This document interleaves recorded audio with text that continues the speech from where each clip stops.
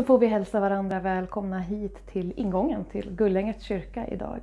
Dagens tema är påskens vittnen. Dagens evangelium är hämtad från Johannes evangeliets 21 kapitel där Jesus för tredje gången visar sig efter sin uppståndelse inför lärjungarna. Och han gör det på en strand vid Tiberias sjöns strand där sju av lärjungarna med Petrus i spetsen bestämt sig för att ro ut att fiska. De fiskar hela natten, men trots idoga försök så ger det ingen fisk. Men plötsligt står det en man på stranden som lärjungarna inte tycks känna igen. Och han uppmanar dem att kasta i näten från andra sidan båten. Lärjungarna gör som mannen säger och de får en enorm fångst. Och trots den till bredden fyllda näten eh, så bryts inte näten sönder. Insikten kommer sen till dem en efter en. Det måste vara Herren. Jesus dog men lever igen. Det är ingen slump att vi talar om den uppståndne Jesus stående framför de här fiskarna vid ingången till kyrkan. De här fiskarna som står bakom mig talar om en annan berättelse ur Bibeln. Om den gången som Jesus kallade lärjungarna till att följa honom, att bli människofiskare. Simon Petrus, Sebedaios söner och några fler, de arbetade som fiskare och fick sin kallelse under en helt vanlig arbetsdag. Och där släppte de allt de hade för händerna och valde att följa Jesus. Nu, i svallvågorna av det som hänt under långfredagen och de här tre dagarna som följt då deras mästare Jesus dog på ett fruktansvärt sätt på korset, så har de sedan dess eh, försökt ligga lågt med dem själva undan den romerska maktens ständigt skarpa blick på dem på den tredje dagen efter långfredagen, då allt fortfarande känns mörkt och dött, så tar Simon Petrus, Sebedaias söner och några fler av lärjungarna sin båt och gör det som känns mest naturligt för dem. De går tillbaka till jobbet. De gör det som de känner till, som känns mest naturligt och det stabila i livet. Men så händer det. På samma sätt som Jesus för några år sedan stod på stranden bad dem slänga ut nätet på andra sidan båten och där få fisk till bristningsgränsen av vad deras nät då höll, så sker samma sak igen. Nu efter Jesu död. Men den här gången så står nätet pall för alla 153 fiskar som de får. Och insikten i vem mannen vid stranden var står nu ganska klart. Jesus höll sitt löfte och vandrar nu mitt ibland oss här på jorden. Han övergav inte Petrus och de andra, utan mötte dem i deras förtvivlan och frustration och försäkrade att deras kallelse står fast. Deras lärjungaskap och väg som människofiskare, den har bara börjat.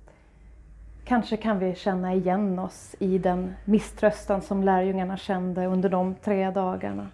Att gå ensamma i en förgänglig och ständigt föränderlig värld där inget längre tycks vara som man trott. Men rakt genom mörkret skär ljuset igenom och uppfyller världen med liv på nytt. Jesus Kristus, världens ljus, den uppståndne och levande guden, vandrar mitt ibland oss igen. Och min bön är att den vissheten får slå rot i våra hjärtan så att vi frimodigt kan möta morgondagen på samma sätt som den där dagen vid Tiberias sjöns strand.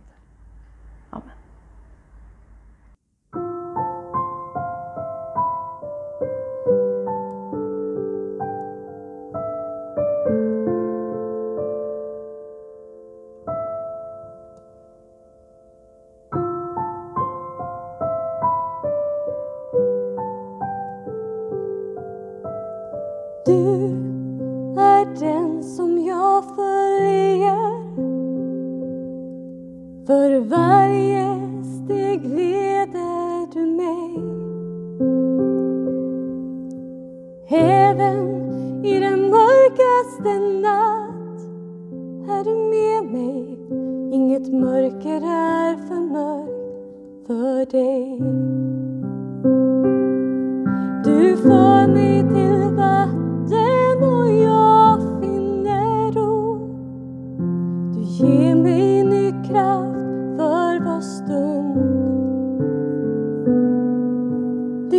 därför evigt trogen mig. Jag får lita på din bergfasta grund. Ja,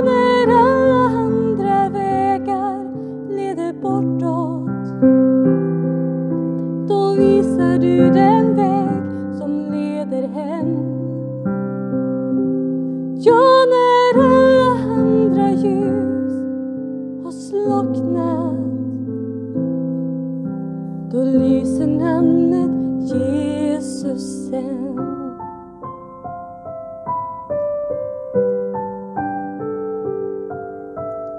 Du är den som jag följer. För varje steg leder du mig.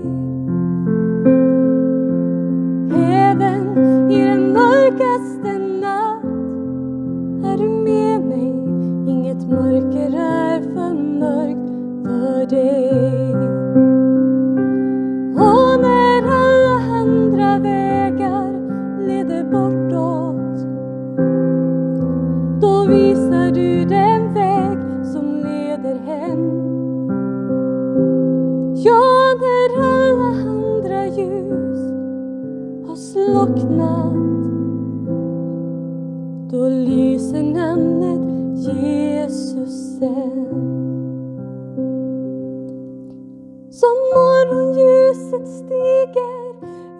Jorden så omger Jesus kärlek hela mig. Som morgonljuset stiger över jorden så omger Jesus kärlek hela mig.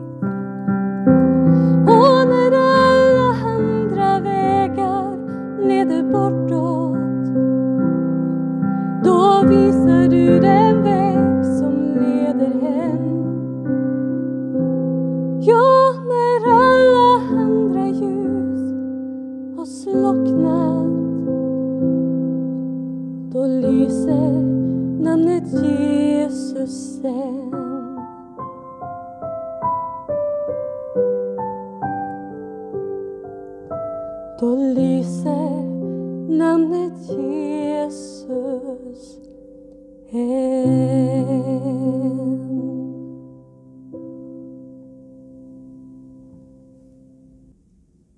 Vår Fader, du som är i himlen.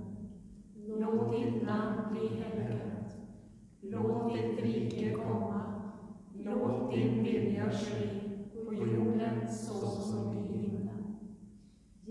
oss idag det bröd vi behöver och förlåt oss våra skulder liksom vi har förlåtit dem som står i skuld till oss.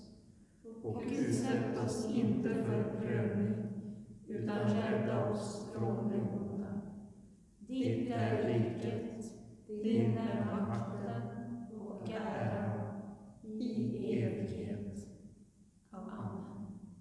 Ta så emot Herrens välsignelse. Herren välsigne dig och bevara dig. Herren låter sitt ansikte lysa över dig och vara dig nådig. Herren vänder sitt ansikte till dig och giver dig frid.